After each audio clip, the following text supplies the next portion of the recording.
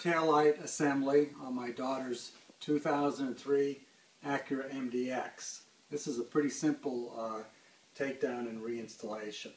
You can see that this taillight has lost a lot of the plastic in an accident and this light bulb here is missing as well so we'll have to replace the light bulb. You only need a couple of tools for this job.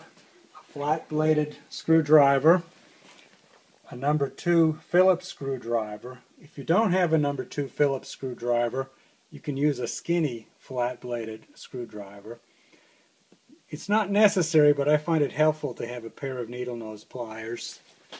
You need the replacement lens, and of course we need the bulb that was missing, and you can look up the model number of the bulb in your owner's manual.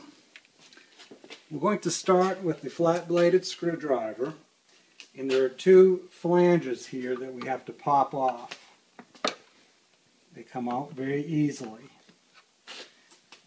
Then we take the number two Phillips screwdriver and we remove the two screws that hold this assembly on. Now you want to be careful not to drop those screws down these holes because they can fall into the bumper and then they're hard to find. And that's where the needle nose plier can come in handy. Once you've loosened that screw, you can grab it and pull it out without dropping it down into the bumper well.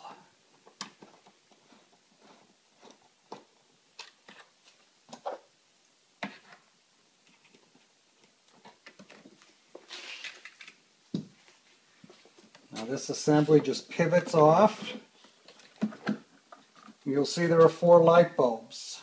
These come out very easily. You grab, twist and pull out, twist and pull out, twist and pull out, twist and pull out. We'll take our replacement light bulb and that just pops in very easily to the socket. Now we have our replacement lens that we've purchased remove the small hole covers that are stuck on back and start replacing the bulbs.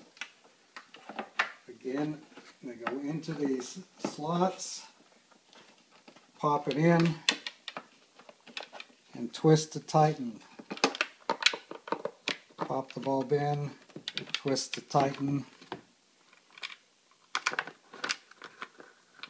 pop the bulb in, twist,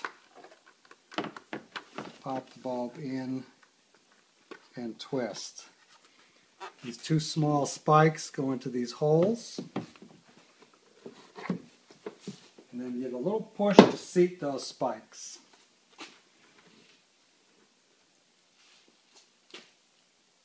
We take our two screws and very carefully put them back in, making sure we don't drop them down that hole.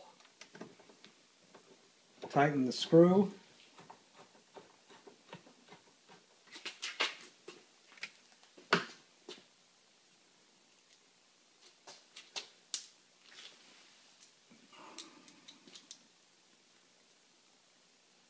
Same with the second screw.